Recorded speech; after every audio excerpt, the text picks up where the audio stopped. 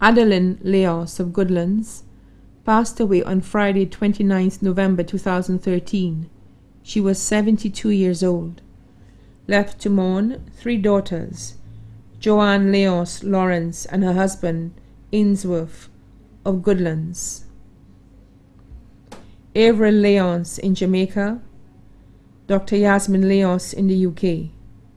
Two grandsons, Johann Francis and Dion Francis, both of Goodlands. Four siblings, Winston Francis and wife Jackie in the UK. Arthur Francis and wife Miriam in Canada. Linda James and husband Cuthbert of Cantonment, Vieux Winifred Warner in Canada. Nieces Dr. Sharma James of Cantonment, Vieux Leslie Warner in St. Kitts, Kimberly Warner in Canada, Gail Green in the UK. Nephews Stuart James and family of Cantonment, Vieux Dr. Sherwin James and family of Vieux Andrew Francis in the UK.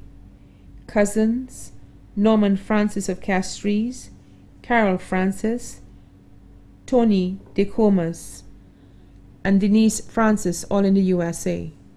Dwight Lewis in Antigua. Cornelius Nerve of the Morne and family.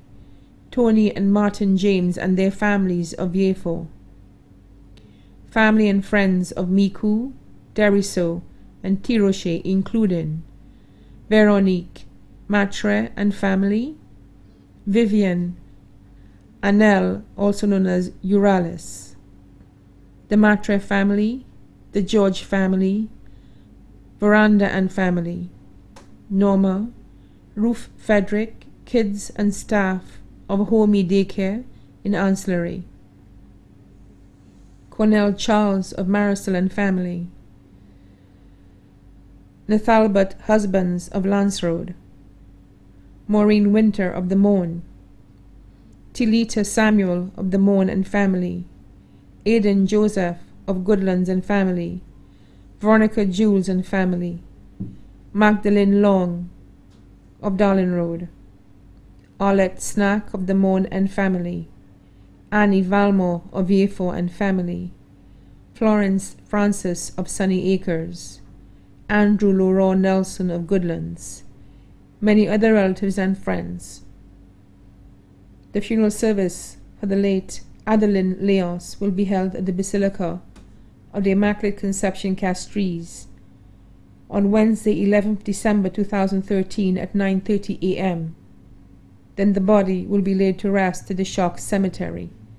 The body now lies at the Ramballi's funeral parlor on Calvary Road, Castries.